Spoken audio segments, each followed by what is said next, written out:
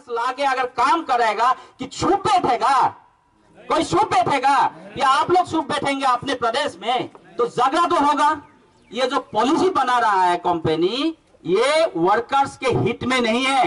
ये जो कर रहा है, ये केलर हो या जो भी कंपनी हो, वो एनआरएल एक्सपांशन के लिए भी बुरा है। आसाम से बाहर से यहाँ अपने फैमिली के लिए फैमिली के लिए काम कर रहे हैं। उनके सेफ्टी के लिए हम लोग बोल रहे हैं कि आपका जो भी आने वाला है, उनको अभी किला में देखिए, यही है क्या है? ये किला में ये कर रहा था काम। तो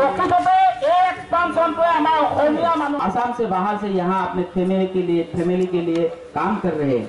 उनके सेफ्टी के लिए हम लोग बोल रहे हैं कि आपका जो भी आने